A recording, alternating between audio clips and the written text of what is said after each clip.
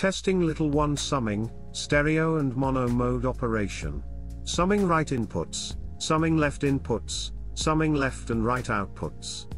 Summing out, main record signal monitoring with VU meter and phase meter. Connect right out, connect left out to interface inputs. Then connect right interface out to right input, left interface out to left summing input. Main record VU meter shows equal signal on both left and right summing outputs.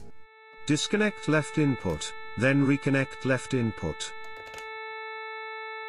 Disconnect right input, then reconnect right input. Connect to the next inputs. On the all inputs must be equal signal on both left and right channels as VU meter shows. Switch to mono mode, mono conversion activated on channel 1 and 2. Connect only one side, then check VU meter. Must be equal signal on both outputs.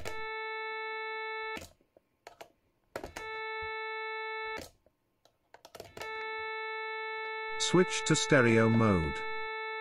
Then test mono conversion switch.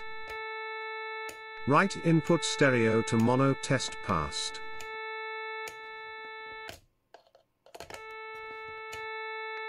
Left input stereo to mono test passed.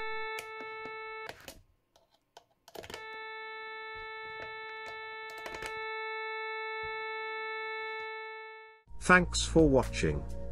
Please visit vintagemaker.net.